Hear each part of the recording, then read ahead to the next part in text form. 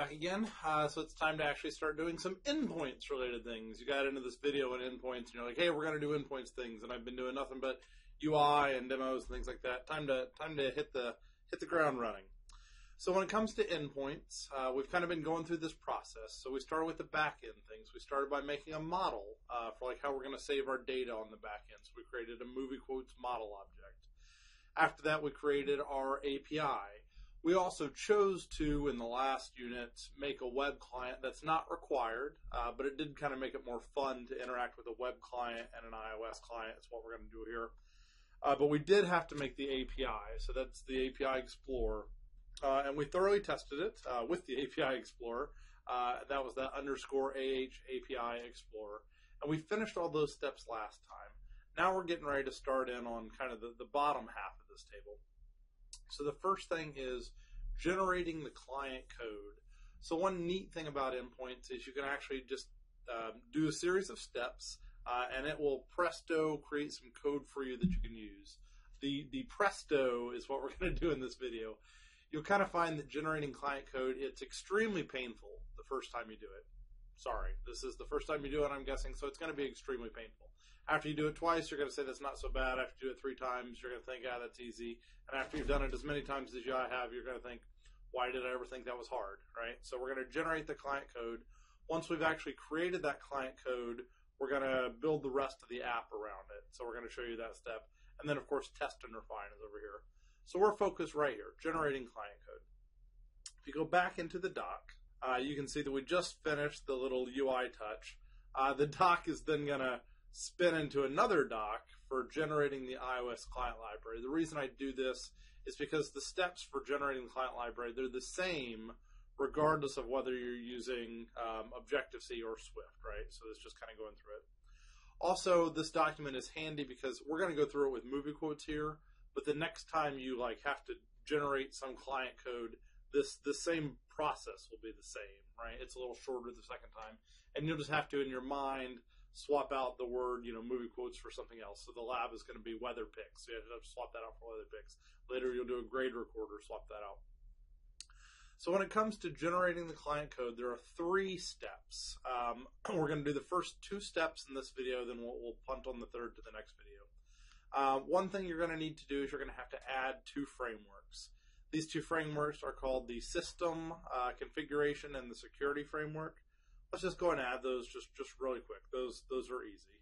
So this first step, you just click on the project itself. If you get asked a keychain question, to say always allow and, and never ask me again.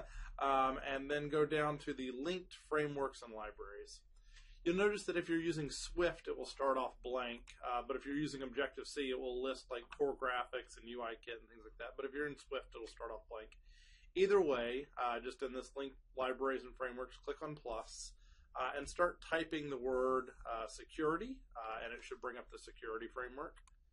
And then you're going to have to add another one, uh, and the one you're going to have to add is system uh, configuration. There's a few things with system configuration, so you'll actually have to type until the C uh, before it'll auto-populate. So great, we added those two things trivially easy. so those are the, the first of three steps. Woohoo! unfortunately, that step's way easier than the others. Uh, the next two steps, so there's two pieces. One is there's code that you're always going to use, no matter what backend you're talking to. Um, it's called Google's uh, client library. They call it GTL for Google Transportation Layer Library. And then there's also going to be some specific things for your backend. So what we're going to do is we're just going to go get this uh, client library. It's like, I don't know, 30 files, right? And so we just need to get these 30 files from somewhere and you have to play the game uh, with how with how Google does things. Uh, and so what we're going to do is we're going to put these uh, into their own group uh, just to keep it organized. And I thought I would start off by making these groups up front. Uh, so the thing we're going to do in this video, so I'm just going to right click on here and say new group. And I'm going to say GTL client library, which is just the files we're going to have to copy over. Uh, and then we're also going to make a new group uh, for the movie quotes API files. So we're worried about this one. So where do these files live? Uh, so these files live. Google didn't use GitHub. They they have their own like GitHub equivalent, right? Uh, so it's code.google.com. Um, and you can go click on this link if you want to just go see this website. Uh, so this is all about uh, the Google API client library. Note that it says for Objective C. This is going to all be in Objective C, and that's fine. We're going to use bridging headers, no big deal there. Um, there's a lot of things in this project. You could go look at it and you can read all these these cool things.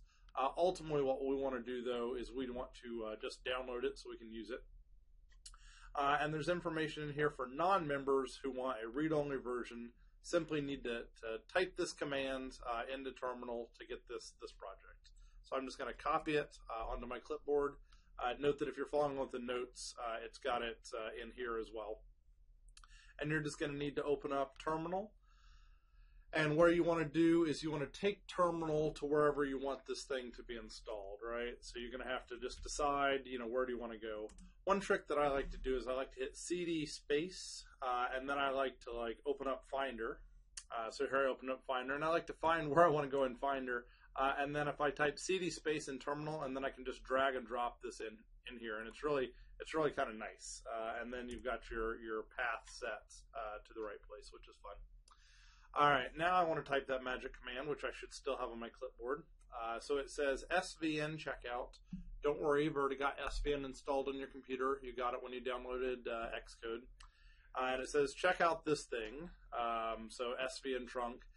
And then this last part here is this is actually what folder you're going to make. So if you wanted to change that last part, you could but I see no real reason to. I'm just going to go ahead and run it, um, and I'll let it create that folder for me.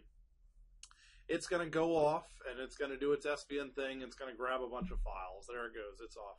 Um, don't really care how many files it downloads. Uh, you can see that there's a lot of uh, sources, services. So if you want to use Drive or Compute Engine or Books, um, it's all these generated client libraries for you. So this project, it's it's good for two things. It's good for generating your own, it's also good because it has the code if you're going to use some Google library, which is really kind of neat. Yeah, the things we teach you could be used in a lot, a lot more ways. So, all right, so now we should have this uh, Google API uh, client library read only. Uh, you can see that it's got some examples in here if you want to go through and look at some examples. Um, it's got the source code that you need. Uh, one of the big things is what is it's in services, has all the different services we care about two things uh, in this. We care about um, this GTL project, and then later we're going to care about the service generator project. Those are the only things we care about in this. So go ahead and open up the GTL project. So just go ahead and I like to hit Command and down arrow, uh, and it'll open it up. The only thing we're doing with this project is really kind of funny.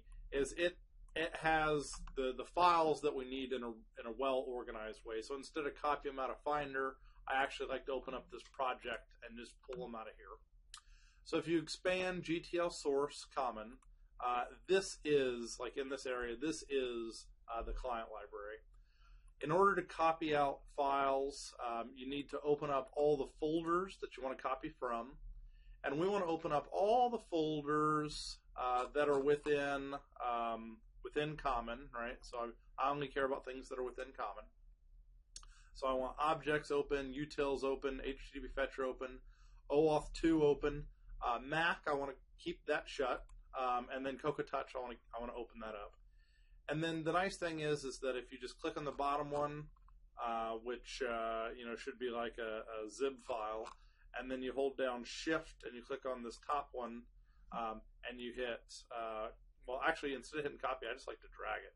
So you just drag it uh, from here, and you just plop it onto your GTL client library group. Uh, copy them in. Yes, copy them in. Um, and then it asks you, do you want to make a bridging header? Yes, I'm going to need a bridging header because these are all Objective C, right? Uh, so it brings them all over.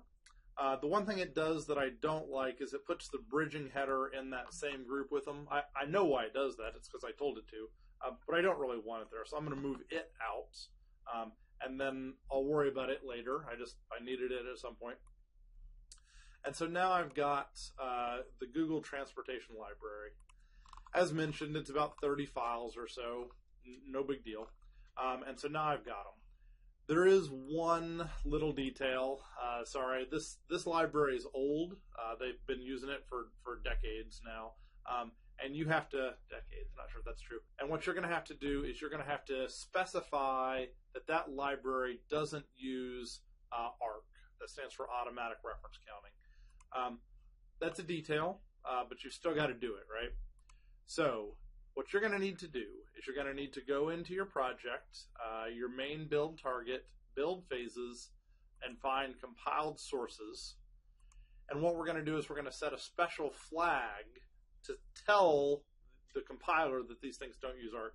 If you, if you don't trust me, try to hit Control B right now, uh, and you'll get all kinds of ARC restriction messages, right? So we, we need to fix that, right? So, all right, now I lost where I was at. So into the project build phases.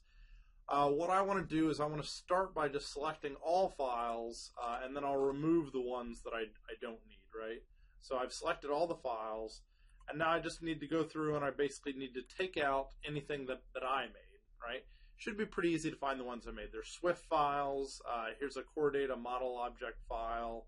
Um, these all say GTL, GTL, GTM, so they're, they're obviously not ones that I made. Uh, here's a couple Swift files, so I'm going to take them out.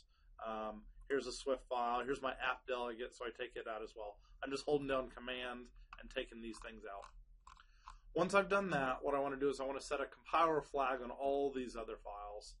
What I like to do is I like to double click somewhere near the bottom because my, my window is going to show up on the bottom.